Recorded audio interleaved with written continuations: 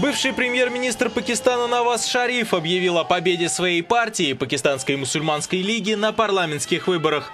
Официальные результаты еще не опубликованы, однако в победе Шарифа сомнению наблюдателей нет. Главный вопрос, будет ли возвращение экс-премьера настолько триумфальным, что он сможет сформировать кабинет в одиночку.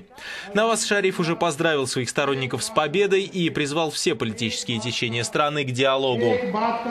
Один из главных соперников Шарифа, звезда спорта и меценат Имран Хан уже признал свое поражение, несмотря на то, что поначалу опережал соперника. Однако, по данным опросов, у него есть все шансы занять второе место и сделать свою партию «Движение за справедливость» второй политической силой страны, что и отмечают его сторонники.